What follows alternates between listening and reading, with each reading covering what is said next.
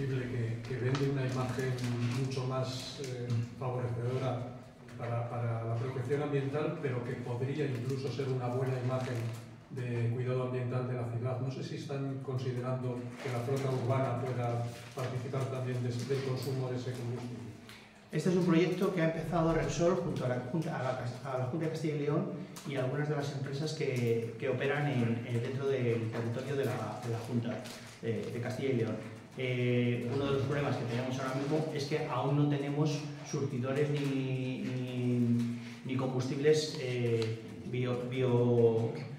bio, biocombustibles en Segovia, no hay tantos. Lo que pasa es que esto es un programa piloto que están haciendo para el transporte público, puesto que es, un, es economía circular, es un sistema que están haciendo eh, a través de la hidrogenación de restos eh, eh, eh orgánicos y lo que están haciendo es eh, hacer estas pruebas. Parece ser que la empresa que ha estado haciendo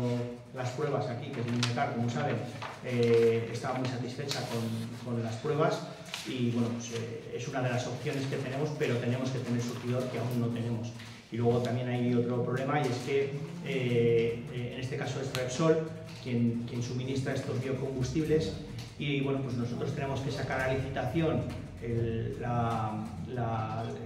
uso de esos, de esos combustibles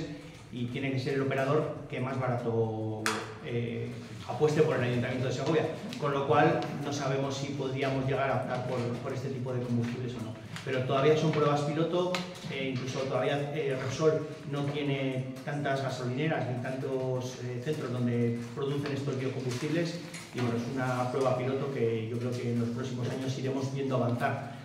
es algo que no es nuevo, porque ya en su día se utilizó con, con, materias primas, lo que pasa que hubo el problema de que carecieron tanto esas materias primas como era el aceite de colza o el aceite o resto de, de cualquier tipo de aceite, incluso el de palma, eh, en el que tuvieron que frenar porque estaba encareciendo la, la cesta de la compra ostensiblemente. Entonces por eso ahora lo están haciendo con restos eh,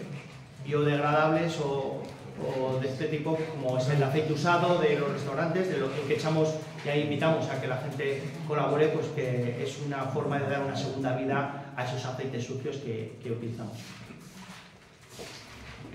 Sí, yo tenía